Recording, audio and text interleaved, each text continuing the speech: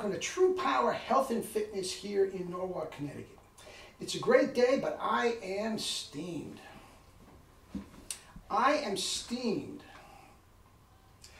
My daughter is a senior at Penn State University. She has one week of classes left, okay? And then she graduates, okay? Honor roll student, this means nothing fact she's an honor roll student, or she could be the worst student in the school. It doesn't matter. Uh, these are civil liberties, mean nothing at Penn State University. Her boyfriend was pinged to get a, a COVID test. Okay? Just out of the random COVID test, he went in, he had COVID. Tested positive. Okay?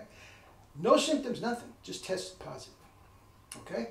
My daughter, being the good person that she is, she's the type of girl that's never done anything wrong in her life. The minute she found out of it, goes over to get tested.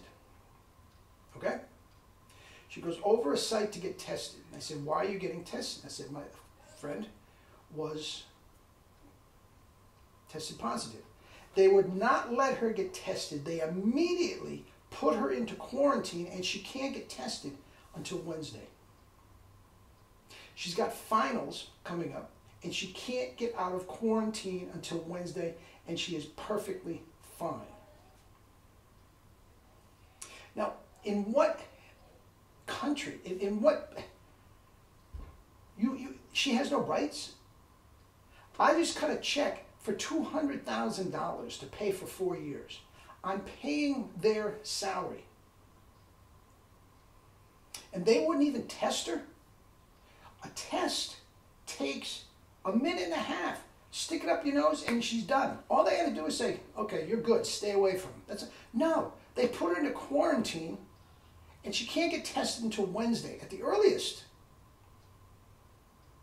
Now, if she was tested positive, absolutely quarantine her, but th th this is ridiculous. She has no rights. She has studying to do and she's got to go back and, and pack up like she's leaving for home, leaving for Siberia to just go to. This is ridiculous.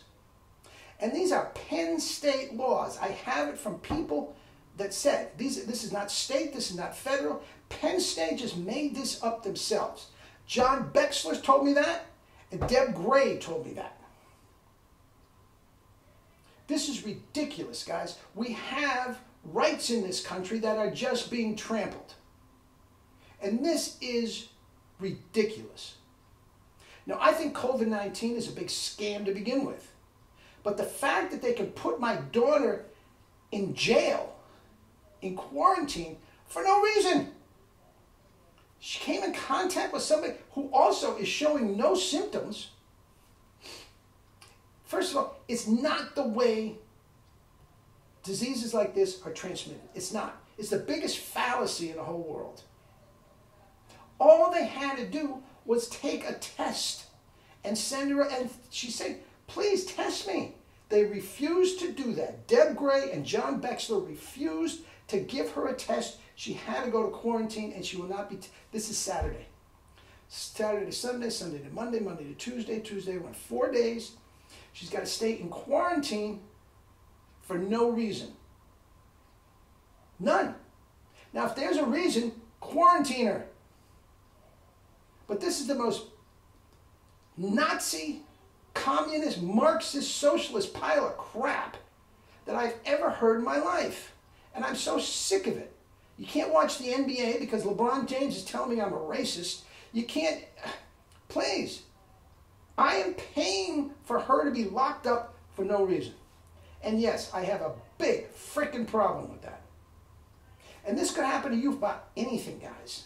This is what's going on. And if you don't fight back, you're out of your mind. You're out of your mind. I'm going to get a lawyer this afternoon. Okay? Now, the fact of the matter is, there probably isn't a lawyer on God's green earth that will take this case. That's my problem. The irony is, my daughter's going to law school.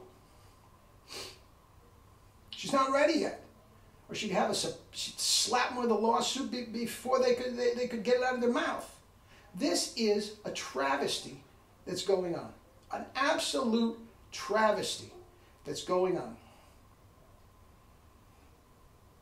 And every single one of us, if you're not pissed off about this, you are out of your mind because it could happen to you. And don't tell me that we're doing this for the greater good. Don't tell me that we are doing for this for the greater good. Research shows beyond a shadow of a doubt. pre-K students to 24 year olds do not get sick and the, the, the amount of them that die is so infinitesimal there, there's like five zeros to the right of the decimal point. The notion that we have to have this hysteria is out of your mind.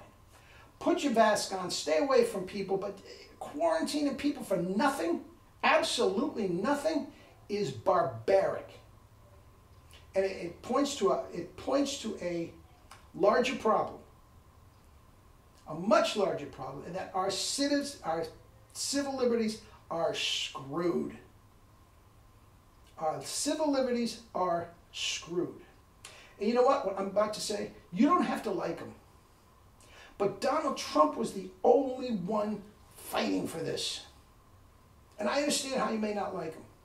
But this Biden shit, this Kamala Harris shit, this is absolutely a fallacy, COVID 19. And I'm paying $200,000 to have my daughter literally thrown into jail because she happened to be near somebody that tested positive. And he hasn't gotten a second test yet. How many false positives do we have?